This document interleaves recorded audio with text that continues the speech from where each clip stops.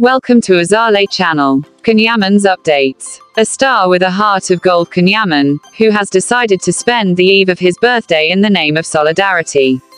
The Turkish star, yesterday morning, visited the children hospitalized at the Policlinico Umberto I in Rome. Here he brought gifts, took selfies and visited the pediatric neonatology ward.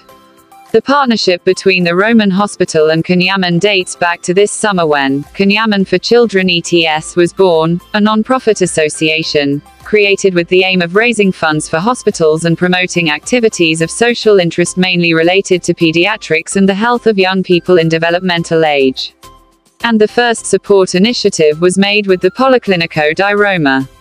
At Cinecittà World the Happy Birthday Can Yaman event. Just to help the little hospitalized Can Yaman, yesterday afternoon, he went to Cinecittà World for the Happy Birthday Can Yaman event.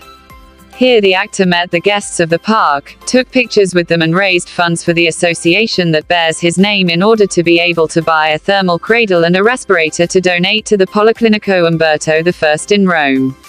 The actor, who turns 32 yesterday, recently returned to Rome after spending the month of October in Palermo for the filming of the fiction, Viola il mare, soon to be broadcast on Canal 5. Thank you for watching.